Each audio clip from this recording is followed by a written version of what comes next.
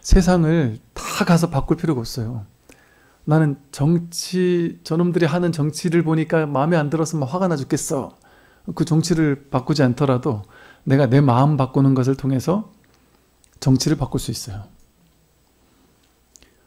난 세상이 부조리한 것 때문에 또는 요즘 보니까 막 이슈가 되는 게 학폭 같은 게 이슈가 되던데 그런 놈들이 있고 또 무슨 저 사이비 종교가 날뛰는 이런 세상은 나는 도저히 살 수가 없어 괴로워 죽겠어 하면서 거기만 내가 집중을 하게 되면 의식을 거기에 가져가게 되면 그렇게 막 서글픈 현실이 계속해서 연기하겠죠.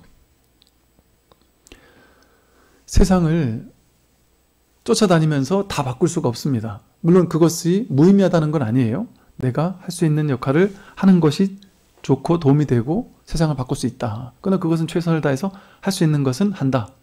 그러나 내가 반드시 다 할 수 있다는 것은 오만함이죠. 어리석음일 수 있어요. 할 수 있는 만큼 최선은 다하되 그 될지 안 될지 알 수 없는 거죠. 그러니까 최선은 다하되 내가 그걸 다 바꾸겠다라는 생각할 필요가 없어요. 사실은 간단하거든요. 그 마음에 안 드는 세상을 다 바꾸고 마음에 안 드는 사람들을 다 변화시켜야지만 세상이 행복해지는 게 아니에요. 그럴 것 같았으면 지금 역사 속에서 단 한 번이라도 우리가 꿈꾸던 모두가 꿈꾸던 그런 이상 세계가 있었던 적이 있나요? 없단 말이에요.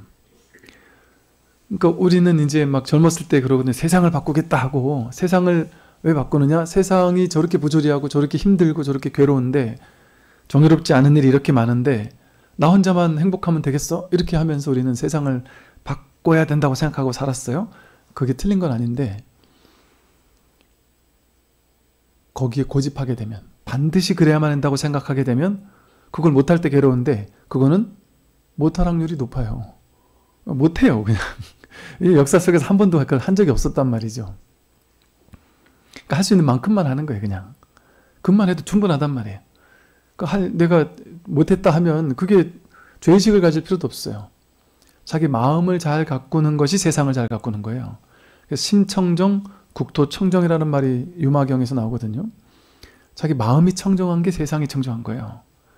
근데 우리는 자기 마음을 청정하게 하려는 생각은 못한 채 세상을 청정하게 바꿔야 돼.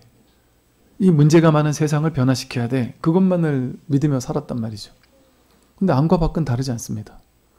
자기 매, 내면을 변화시키는 것이 곧 세상을 바꾸는 것과 다르지 않은 일이에요.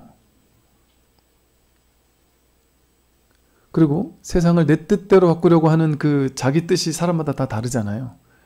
그러니까 내 뜻대로 바꿨는데 그래서 난 잘했다고 생각해서 죽고 나면 천당 가겠지 생각했는데 남들은 나와 다른 생각을 가지고 너는 잘못했다라고 얘기하는 사람도 많을 거예요. 너는 세상을 그렇게 망쳐놨니? 이럴 수도 있을 거예요. 나는 내 목숨 바쳐 평생을 여기에 기여했는데 남들은 나와 생각이 다르거든요. 그걸 잘못됐다고 여기는 사람도 있단 말이죠. 그럼 어떻게 내가 이상적으로 생각하는 세상을 그렇게 바꿀 수가 있겠습니까?